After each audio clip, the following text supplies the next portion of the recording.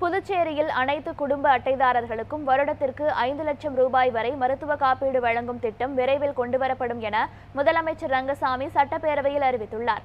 புதுச்சேரி சட்டப்பேரவை பட்ஜெட் கூட்டத்தொடர் ஒன்பதாவது நாளாக நடைபெற்றது.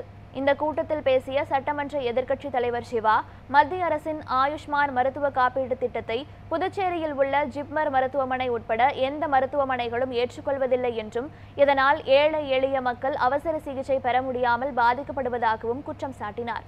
இதற்கு பதிலளித்து பேசிய முதலமைச்சர் ரங்கசாமி ஆயுஷ்மான் பாரத் திட்டத்தை சீர்படுத்தி குடும்ப அட்டைதாரர்களுக்கும் வருடத்திற்கு ஐந்து லட்சம் ரூபாய் வரை மருத்துவ காப்பீடு வழங்கும் திட்டம் விரைவில் கொண்டுவரப்படும் என்று உறுதியளித்தார்.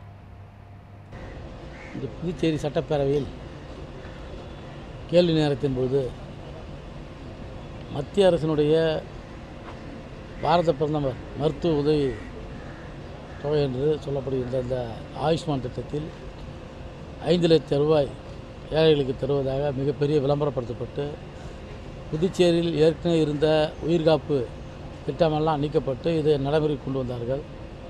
ஆனால் இந்த மூன்று ஆண்டுகளில் இந்த மக்களுக்கு அதனால் எந்த ஒரு பலனும் கிடைக்கவில்லை. குறிப்பாக தலையில் அடிபட்டாலோ இதய நோய் போன்றவர்களுக்கு கிட்னி மருத்துவம் தேவைப்படுபவர்களுக்கு அதே போல் முதுகு தண்டுவட நோயில் பாதிக்கப்படுபவர்களுக்கு ஆர்த்தோவில் பெரிய அளவு பிரச்சனை ஏற்பட்டாலாம் வந்து புதுச்சேரி மருத்துவமனையில் பார்க்க முடியாத சூழ்நிலையில் உயர் மருத்துவம் பார்ப்பதற்கு சென்னைக்கு தான் கொண்டு செல்லக்கூடிய சூழ்நிலை இருக்கின்றது.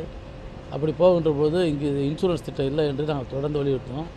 சென்ற சட்டமன்ற கூட்டத்தில் அதற்கான பிரச்சனைகள் பெரிய அளவில் எழுந்து ஆளுங்கட்சி எதிர்க்கட்சி என்று இல்லாமல் அவரவர் உள்ள பிரச்சனைகள் எல்லாம் அவர் தொழில் ஏற்பட்ட உயிரிழப்புகளை பற்றியெல்லாம் சொன்னார்கள். அதனால் போன சென்ற சட்டமன்றத்திலே முதலமைச்சர் வந்து புதுச்சேரிக்காக ஒரு இன்சூரன்ஸ் திட்டத்தை நாங்கள் உருவாகுவோம்னு சொல்லியிருந்தார். அது இதுவரை நடைமுறைப்படுத்தவில்லை.